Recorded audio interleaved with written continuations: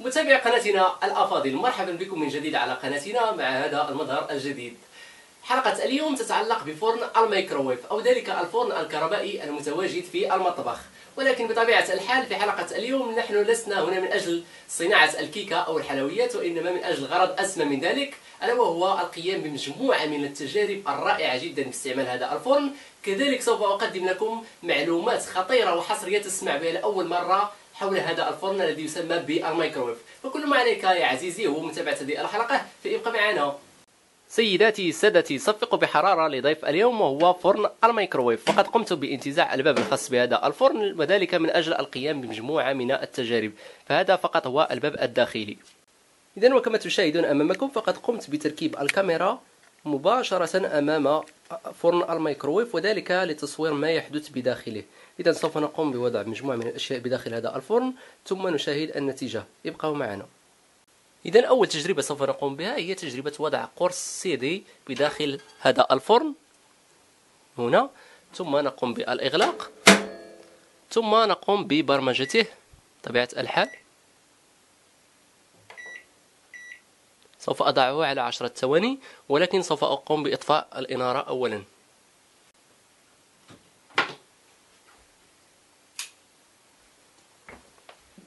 إذن سوف أقوم بتشغيله الآن.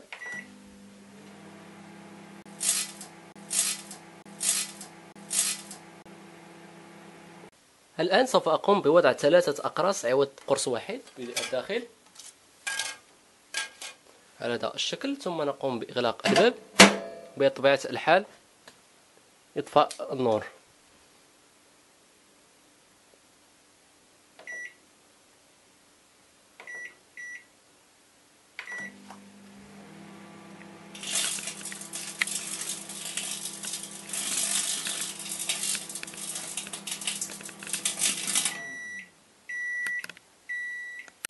والآن كما ترون هذا هو الشكل النهائي لحلوى الأقراص بعدما قمنا بالانتهاء منها.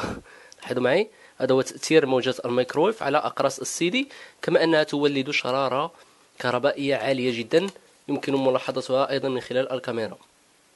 الآن التجربة الثانية تتعلق بوضع مصباح 220 فولت في الداخل ثم مشاهدة النتيجة. إذا سوف أقوم بوضعه في الداخل أمام أعينكم ثم أقوم بالإغلاق ثم أقوم ببرمجته مرة أخرى.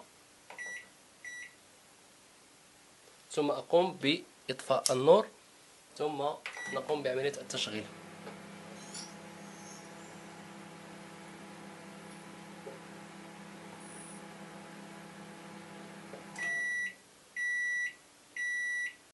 التجربة التالية هي تجربة وضع القليل من ورق الألمنيوم كما تلاحظون قليل منه فقط ولكن لا تضعه بشكل مسطح وإنما بشكل مقوس على هذا الشكل. لاحظوا معي سوف أقوم بوضعه في الداخل. ثم أقوم بإغلاق الفرن. طبيعة الحال سوف أقوم ببرمجته على عشرة ثواني. ثم أقوم بإطفاء النور. ثم سوف أقوم بتشغيل الفرن.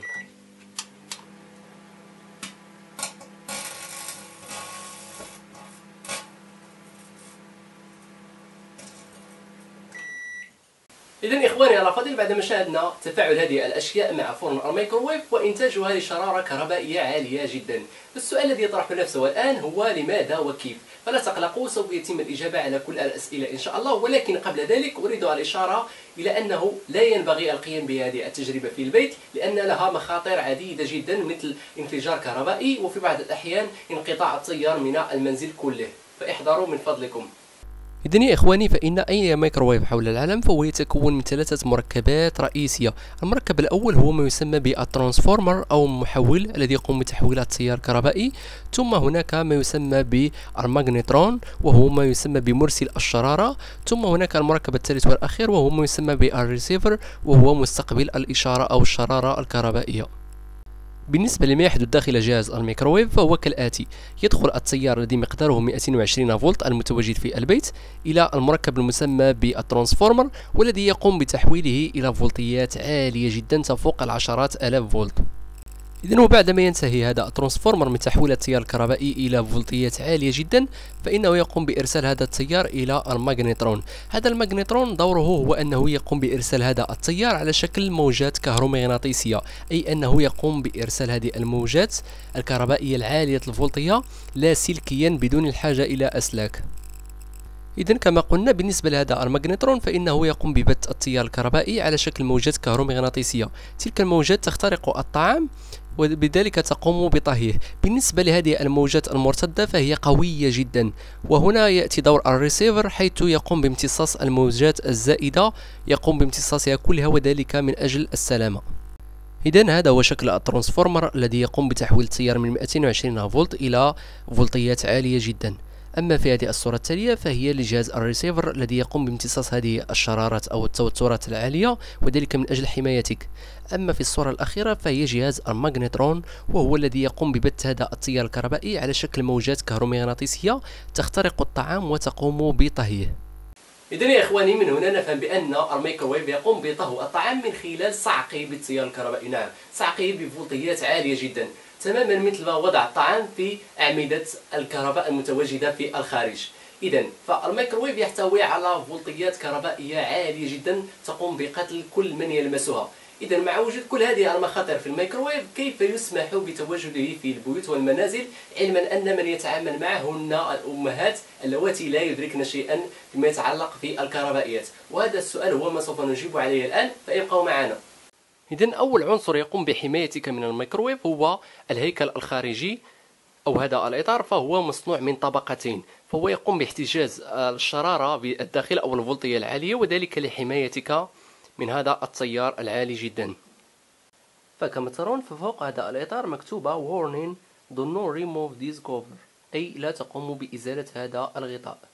العنصر الثاني الذي يقوم بحمايتك هو الباب فهو مكون من طبقتين كما ترون الطبقة الأولى والطبقة الثانية. فهذا الباب أيضا فقد صمم خصيصا لحمايتك من الفولتية العالية القاتلة ولكن أكثر من ذلك. هل تساءلت يوما عن سبب تواجد هذه النقاط الموجودة في باب الميكروويف؟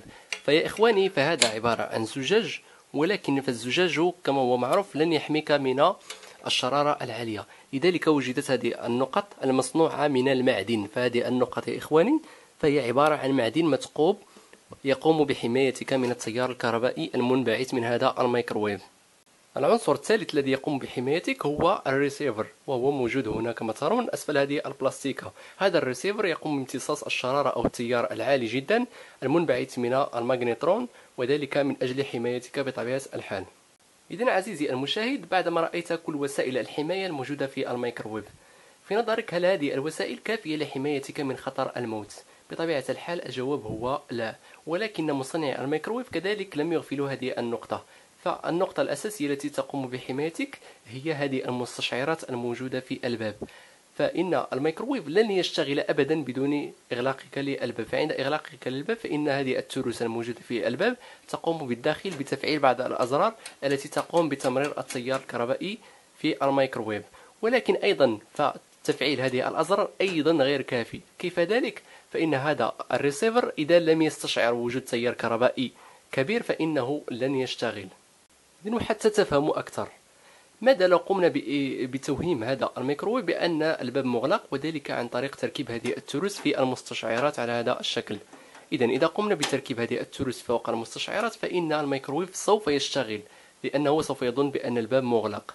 إذا فعند اشتغاله سوف يرسل شرارة كهربائية سوف تنجذب إليك وسوف تقوم بإيذائك وإيذاء الأجهزة الموجودة بالقرب منك. إذا فما هو الحل يا ترى؟ أيضا هذا المشكل له حل والحل بسيط جدا يكمن في هذا الريسيفر. فإذا لم يكن هناك باب فإن الشرارة سوف تخرج إلى الأمام ولن تبقى هناك أي شرارة في الداخل سوف يستشعرها هذا الريسيفر. وهذا الريسيفر إذا لم يستشعر وجود تيار كهربائي فإنه يقوم بإيقاف الفرن في الحال. وذلك بطبيعة الحال من أجل حمايتك. إذا إخواني حلقتنا وصلت إلى ختامها. كالعادة أتمنى أنكم قد استفدتم من موضوع اليوم وأن تعجبكم حلقة اليوم. من فضلكم لا تبخلوا علينا ب like والاشتراك إذا كنتم من الزوار الجدد.